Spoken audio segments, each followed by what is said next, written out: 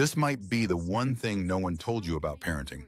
Now, there's another myth that you should talk to children, particularly young children, like they're adults. No, there's research to show that motherese and fatherese, we call it motherese, but it's that, oh, honey, how are you, honey? and it's a lilting kind of beautiful up and down.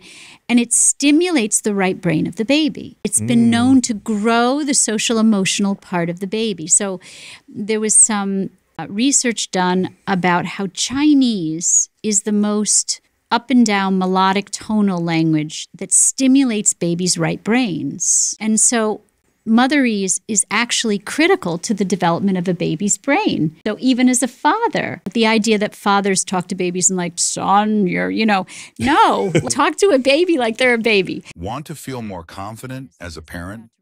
Type want in the comments and check the link in bio to try the one tool that made all the difference for parents.